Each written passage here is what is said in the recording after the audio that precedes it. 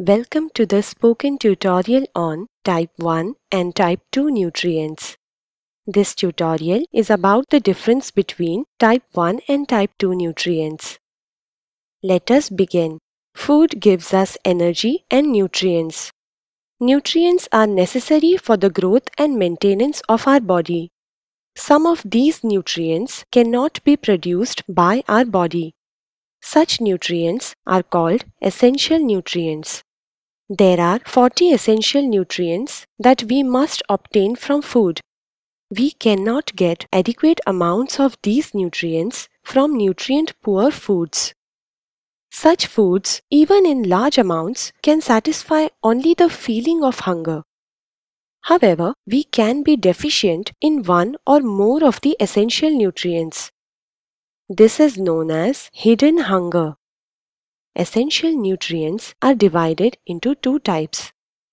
Type 1 nutrients or functional nutrients and type 2 nutrients or growth nutrients.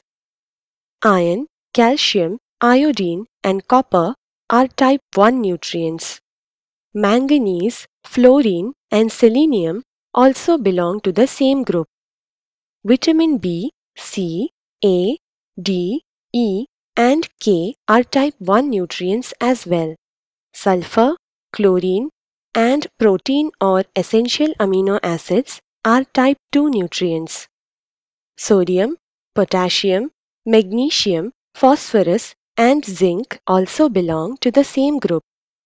Essential fatty acids like omega 3 are type 2 nutrients as well. Let's understand the difference between Type 1 and Type 2 nutrients. Type 1 nutrients are required for specific functions in the tissues. Therefore, they are concentrated in a particular tissue or group of tissues. Let's take calcium and vitamin A as examples. Calcium is required for strong bones. Vitamin A is required for healthy eyes. By contrast, Type 2 nutrients are required for the overall growth of the body. They form part of the structure and function of each and every cell in the body. Therefore, they are present in all body tissues. Let's discuss the response of our body to type 1 and 2 nutrient deficiencies. During a type 1 nutrient deficiency, the body continues to grow normally. Body takes this nutrient from the specific tissues in which it is stored. Let's take calcium as an example. In calcium deficiency, the body uses the calcium stored in the bones. As a result, the concentration of that nutrient in the tissues decreases. Then, the organs dependent on that nutrient are affected. Therefore, the person becomes ill. The sick person then shows a specific sign of deficiency. Let's understand this with the help of four examples. Bone thinning and increased risk of fractures are signs of calcium deficiency. Anemia is a sign of iron deficiency. Night blindness is a sign of vitamin A deficiency and hypothyroidism is a sign of iodine deficiency. On the other hand, there is only one sign of type 2 nutrient deficiencies. That sign is called growth failure. Growth failure means the body reduces the rate of two major processes formation of new cells and replacement of old cells. The body stops growing and making new tissues.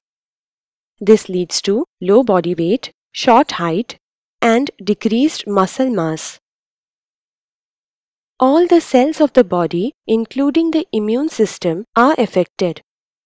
This increases the risk of infections. Eventually, it can cause death. Type 2 nutrients are not stored in the body. In a deficiency, the body may start to break down its tissues or muscles. This releases the type 2 nutrient in which the body is deficient. This nutrient will then be used for other tissues of the body. When tissue breakdown becomes severe, the functions of the cells are affected. Also, there is a reduction in the appetite. The tissue breakdown provides the nutrient in which the body is deficient. However, it also releases all the other type 2 nutrients from the tissues. These nutrients are then excreted from the body. So, all type 2 nutrients must be provided in a type 2 nutrient deficiency. Correcting a type 1 nutrient deficiency does not require all type 1 nutrients. It can be treated by giving only the nutrient in which the body is deficient. Next, let's discuss the availability of type 1 and 2 nutrients from breast milk. Breast milk contains stable stores of type 2 nutrients. They do not change even if the mother is undernourished. The baby of an undernourished mother can grow well with adequate breastfeeding. By contrast, the quantity of type 1 nutrients in breast milk is not stable. It varies as per mother's self-nourishment. Let's take vitamin D as an example. Breast milk of a mother deficient in vitamin D has less amount of vitamin D. Next, let's discuss the diagnosis of type 1 and type 2 nutrient deficiencies. A type 1 nutrient deficiency is commonly diagnosed in two ways. First, the unique symptoms of the deficiency are recognized. Then, the level of the nutrient in the body is measured by a blood test. Let's take iron and iodine as examples. In iron deficiency, Symptoms such as pale skin and fatigue are recognized. The level of hemoglobin in the body is measured by a blood test. Iodine deficiency is also diagnosed by its unique symptoms and tests. Symptoms such as swelling of the neck, weight gain, and hair loss are recognized. The level of iodine and thyroid hormones in the body is measured by blood test. Type 1 nutrient deficiencies are well recognized and treated. There are various ways to correct a type 1 nutrient deficiency. One can take the recommended amount of these nutrients in the diet. Supplements are also recommended for these nutrients. Iron, vitamin C, and folic acid supplements are commonly prescribed. Food is fortified with type 1 nutrients in areas where deficiency is common. A well-known example is salt that is fortified with iodine. A qualified nutrition expert can provide guidance on these methods.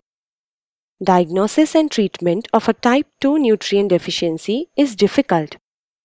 There is only one way to diagnose any type 2 nutrient deficiency. It is to measure and track the weight, height, and mid-upper arm circumference.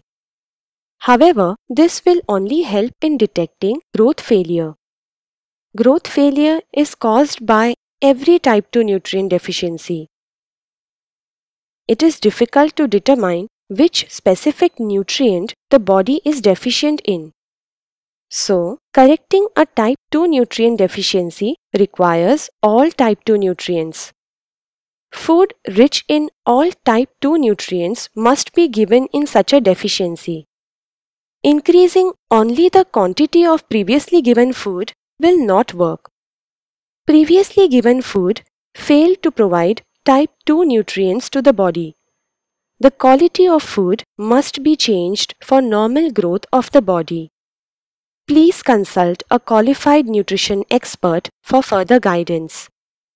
Food sources of type 1 and type 2 nutrients are discussed in other tutorials. Please visit our website for more details. This brings us to the end of this tutorial. Thank you for joining.